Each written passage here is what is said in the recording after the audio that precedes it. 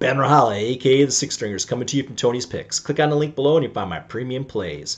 Well, let's rock and roll with my pick in the Pittsburgh Steelers versus the Philadelphia Eagles NFL game for Week 8, Sunday, October 30th, 2022, 1 p.m. Eastern Time. The Steelers are 2 and 5 coming off a loss against the Dolphins in Week 7. The Eagles are 6 and 0 coming off a bye in Week 7. The Steelers are in the bottom of both offense and defensive categories. The Eagles are top five in both offense and defensive categories.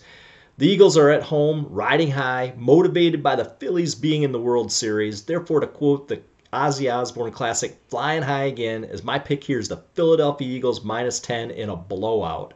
Let's rock it and put the cash in our pockets.